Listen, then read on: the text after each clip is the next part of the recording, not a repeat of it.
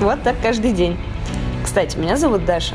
Впервые я оказалась в Харатсе 4 года назад и влюбилась в это место навсегда.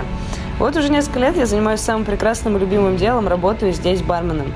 Без шуток, это была мечта из детства. А однажды в маленьком кафе на вокзале я увидела девушку в черном фартуке за стойкой и спросила у своей бабули, кем она работает. Слово бармен мне было тогда вообще непонятно, но было ясно, что это что-то супер крутое, и я точно буду это делать. Помимо работы, я увлекаюсь аналоговой фотосъемкой и почти всегда таскаю с собой зенит, чтобы успеть запечатлеть классные моменты и людей. Моя самая большая мечта, чтобы у всех животных был дом, и чтобы все люди были счастливы. Поэтому периодически я помогаю котикам и собачкам найти любящих хозяев и наливаю пиво в этом баре.